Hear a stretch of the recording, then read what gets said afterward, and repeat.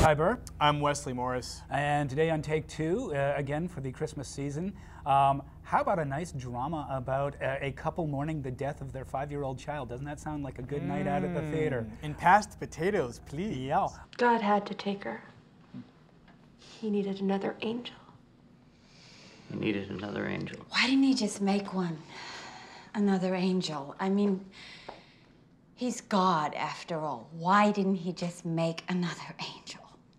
Uh, the movie is called Rabbit Hole, and in spite of that thumbnail description, it's actually very, very good and not as much of a brutal downer as you would expect.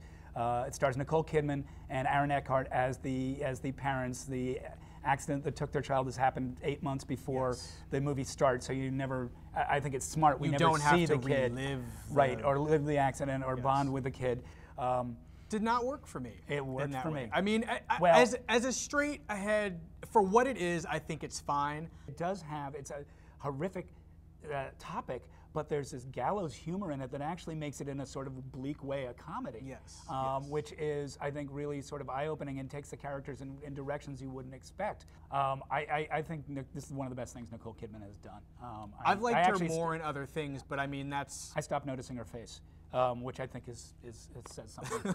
I, I didn't, but I also, despite that, think she's very good. Mm-hmm. But I mean, again, I think Aaron Eckhart is a much better actor than I think he's given credit for. Mm-hmm. And a lot of the things he has to do here, like typical actor, like He loved that dog and you got rid of it.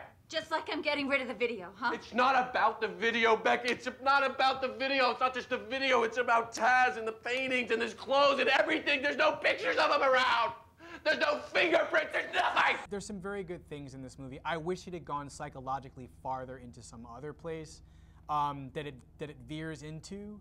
Um, and I, I just I, I'm I'm I'm rooting for John Cameron Mitchell to return to his sex comedy roots as opposed to. and this is a pretty darn good detour. It's called Rabbit Hole. May, doesn't sound like a lot of fun, but it's a very, very good movie and actually more engaging and and and uh, involving than you might think.